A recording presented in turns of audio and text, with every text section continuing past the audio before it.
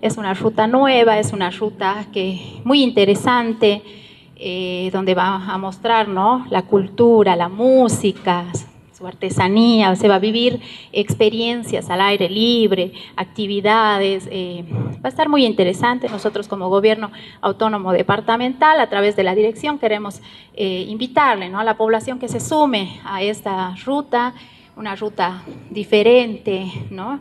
Y bueno, nosotros felices por la iniciativa de, la, de la, empresa eh, y estamos para eso, ¿no? Para potenciar nuestro turismo a nivel departamental no solamente que el pueblo guaraní viene atravesando con el tema de sequía, sino que queremos darle y mostrarle la otra cara del pueblo guaraní. Eh, van a aprender a conocer su costumbre, su modo de ser, que es el ñandereco, que lo llama la identidad cultural del pueblo guaraní, en el cual van a conocer, por ejemplo, eh, cómo es el entierro del pueblo guaraní, eh, años antes cómo se enterraba en, un cántaro, cosa que lo tenemos en las comunidades que muchas personas no lo conocen. Eh, el tema del baile, el tema de Atico, la coordinación que lo hace mutuamente el pueblo guaraní durante muchos años, cómo, cómo convive con, con las comunidades, todas esas cosas, por ejemplo, es bueno presentarlo y que conozca la cultura y la riqueza del pueblo guaraní.